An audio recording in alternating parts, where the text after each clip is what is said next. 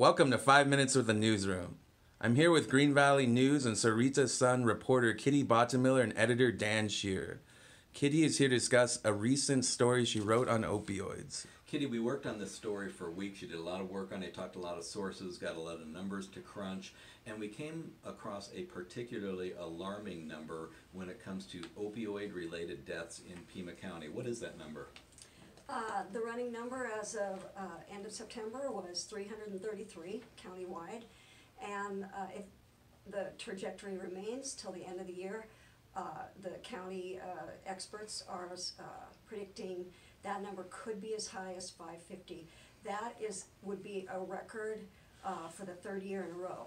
Okay, what other surprising stats did we see come out of this? Give us a few. Well, I learned that the uh, leading cause of death for ages 19 and under is now uh, opioid overdose. And, and really, we're seeing that this is targeting younger people. Yes, we are, and that's really been a, a big change. Uh, it was in the 20s and 30s age categories, and now it's um, really they're marketing to the younger uh, uh, crowd. Uh, they're making these very attractive to young people, you know, gummies and uh, how they package them. So yes, it's uh, it's alarming. And something that surprised me in the story was that what you may buy on the street today is going to be a lot more potent than maybe uh, what was bought even three to five years ago. We don't know what's in those drugs you're buying, and this is what's killing people. Yes, that's true. And it's not just that they're more potent, they are they can be mixed with anything and they're extremely lethal, deadly, whatever word you want to use for it. This is the biggest concern about everybody I talk to here.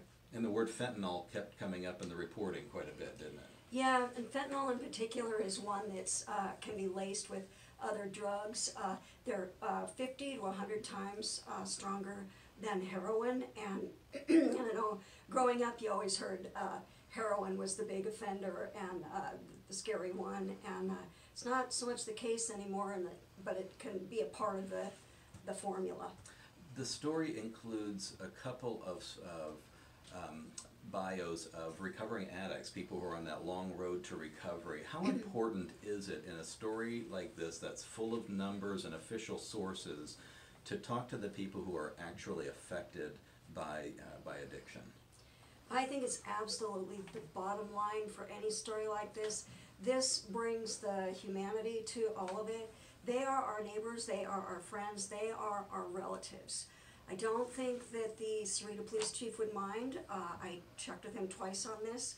Uh, during an inter- interview, he was on the record about saying that uh, he would not elaborate about numbers, but um, somebody in his family uh, he was close to, uh, lives were impacted um, in a big way by uh, drug abuse, and uh, I know I've had them in my family. Um, there, there are people we know, and that's why it's, It's all, important. it's all over the place. Uh, the last time we had a drug disposal event in this area, we had a really surprisingly uh, huge haul. And this is where people go into their medicine cabinets and it's, uh, could be prescription meds or anything, stuff that's expired. You do not want to flush it down the toilet, not a good idea. We had huge numbers come out of that though, uh, in relation to even the rest of the state. Yes, that's true. And in some of the local uh, previous takebacks, uh, I had one source that said, you know, we'd be surprised uh, in places like Arivaca and some of the uh, smaller communities to get 20 people at these events. Um, we got 85 carloads, uh, and but in pounds of pills, we got 230 plus pounds. That was more than twice any of the other much larger communities statewide. There was 14 of them in that time proximity.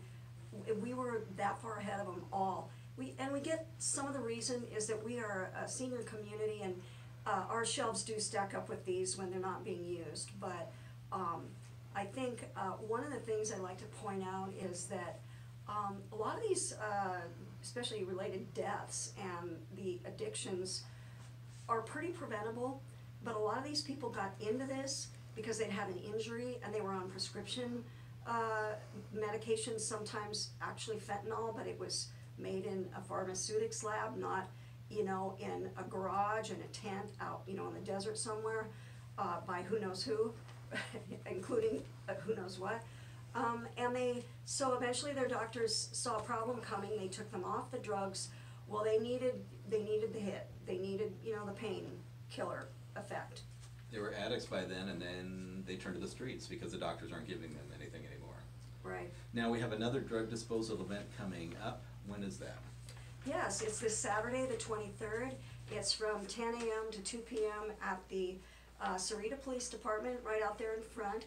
And that's off Sahuarita Road, uh, at, right there at the Town Government Complex, next to Town Hall. So we hope to see a good turnout. Very good. That's October 23rd, another drug take back event. So thank you for joining us on Five Minutes with the Newsroom. We'll see you next time. Thank you.